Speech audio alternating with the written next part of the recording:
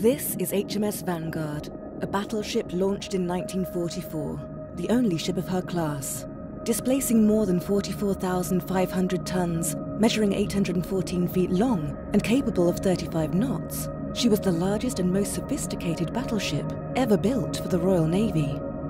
She was also the last battleship ever built for the Royal Navy. Vanguard was originally conceived just two months before the outbreak of the Second World War. The size of all previous post-World War I British battleships had been restricted by naval disarmament treaties. The ships were stumpy, cramped, and undergunned. By the time Vanguard was laid down, those restrictions had gone out of the window. She was longer and wider than any previous battleship. There was also a novel design feature at her stern. This flat stern is called a transom.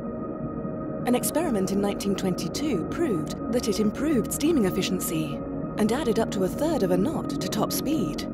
The timetable of her construction was plagued by the pressures of war, but the war was a crucible for innovation, and Vanguard benefited. With each delay, the opportunity was taken to benefit from wartime experience. The large flared bow helped Vanguard better ride and fight in rough seas. The big, square superstructure had been proven in wind tunnel tests, perhaps surprisingly, to be the most efficient design. More innovations were less visible, but hugely important. Vanguard was the first British battleship with a remote power control for her main, secondary, and anti-aircraft guns, meaning a gunnery officer could control the aim of the guns from within the armoured citadel.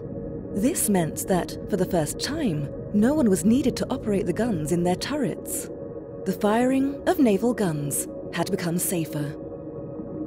Meanwhile, for the crew, there was extensive insulation, air conditioning, and heating, making Vanguard suitable for service from the Arctic to the tropics.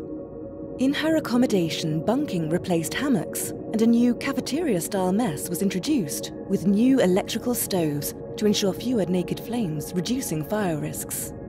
All of this consumed significant amounts of electricity, ensuring that Vanguard received greater generating capacity than any predecessor.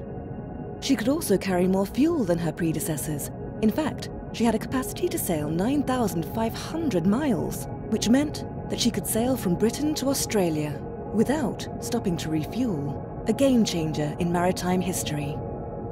Her main armament of eight 15-inch guns was tested by time to fire huge shells accurately at twice the speed of sound at a target up to 18 miles away. It remained the main armament on major British warships from 1915 to 1959. Her secondary armament of 15 caliber turrets could attack targets in the air as well as on the surface. The safety netting was designed to catch any of the crew who fell off or were blown out of their positions. Her anti-aircraft defences were provided by no fewer than 73 40mm Bofors, an astonishing level of protection supported by the immense armour on her decks and hull, 13 inches deep at its thickest. On her main gun turrets, we can see Carley floats, common life rafts invented in 1903 and standard until the mid-50s. Designed as a flagship, Vanguard was equipped with state-of-the-art radio communication systems, as well as old-fashioned signal flag halyards. Vanguard was completed too late to see action in the Second World War, but did take part in early exercises of the new NATO alliance. In 1955, the cost of her upkeep became too great. Placed in reserve, she was scrapped at Faslane in 1959, the largest battleship ever to be entirely dismantled. By then, the nature of sea power had changed entirely. There was never a ship like Vanguard ever again.